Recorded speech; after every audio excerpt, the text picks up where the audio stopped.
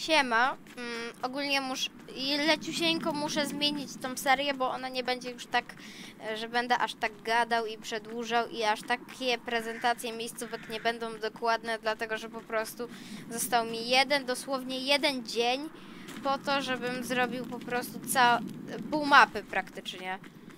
Więc e, jak widzicie, jestem obecnie na mm, kościelnych krańcach, y, które przedtem, które w, przed 16 sezonem, y, kiedy dziczały właśnie tak, one tak wyglądają, y, były tiltedami, y, wcześniej były słonymi, no i w sumie, mm, no właśnie, to taka, to takie trochę miejsce OG, w sensie z takimi OG smaczkami, jakby to, to, że wszystko zdziczało, to takie, ach, słabo bym powiedział, ale tutaj były tiltedy połączone ze słonymi, więc no ciekawie.